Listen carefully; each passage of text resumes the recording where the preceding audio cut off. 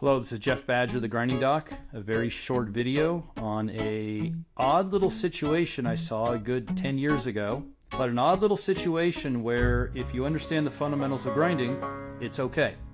And one of the things I teach in my course is I say, listen, there's so many different variations of grinding. There's so many different geometries. There's so much going on that I want you to understand things from first principles. And if you understand things from first principles, you can go and improve any grinding operation, even one you've never worked on. Okay. 10 years ago, I was at a company and they had a the cylindrical grinding operation, at a wheel, and they were dressing.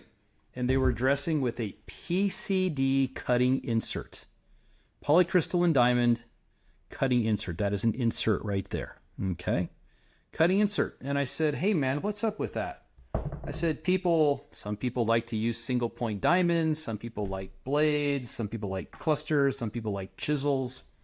I've never seen anyone use a PCD insert, turning insert to dress. And they said, yeah, two years ago, we ran out of dressing diamonds. We were desperate. Joe found an insert. He hooked it up to the machine, put it in a tool holder. It worked, and we've been using it ever since. And I said, I've never seen that. It's not textbook grinding, it's not textbook dressing, but I know the fundamentals of dressing. And the fundamental dressing are we need something hard. CB or PCD is pretty damn hard still. And we need something hard to bust out the grits in the grinding wheel. Said, I don't see any reason why that doesn't work. And they said, it works. We've been using it. So I said, okay, let's keep going. Where I'm here to solve a grinding burn problem. I'm not here to critique your choice of dressers. So let's do it. And they did.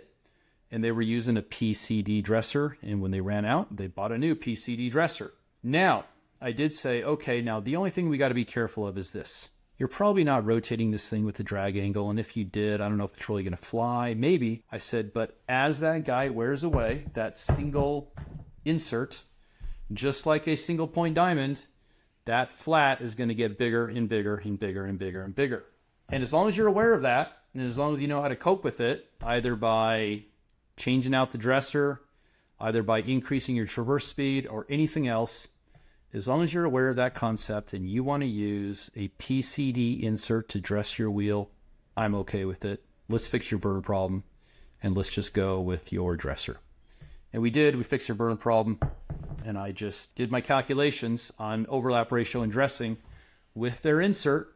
Simple calculation, not a big deal and they were able to use their PCD insert. And the point of this is if you understand the fundamentals of grinding, you can make things happen, even for situations that are a little odd and out of the ordinary.